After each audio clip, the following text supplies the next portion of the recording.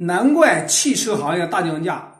十三万就可以提到吉利星越 L 了啊！那么以前吉利星越 L 是始终是没有任何的优惠的，现在它也不得不放下自己的身段去优惠了。当然了，是二零二一款啊，二零二三款还是没有什么优惠，那也是不错的，非常好的。二零二一款和二零三款都是一样的二零 T 的一个发动机，那么都是一个气囊的湿式双离合变速箱。那么顶配呢也有优惠，而且是采用的是一个爱信的八 AT 变速箱，所以说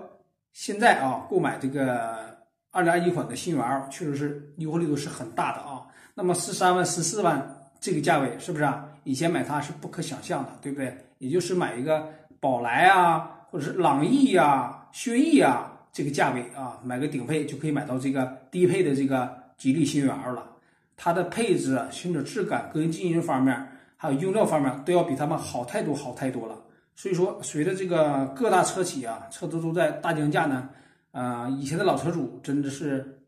多花了很多钱，现在这个新买车的确实得到了一些实惠，确实是降价啊，不是说一千两三千五千那么降，一降就是好几万，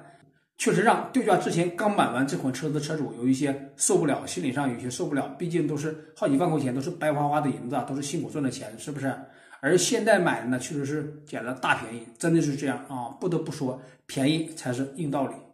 那么，小伙伴，你们认为新源这款车怎么样？可以入手吗？可以在评论区留言。其实这款车子的行车质感是非常非常优秀的，隔音、静音、底盘扎实感、支持性各方面都是非常优秀的。尤其是车身安全上，它有着和沃尔沃的技术这个支持嘛，车的安全上也是非常优秀的。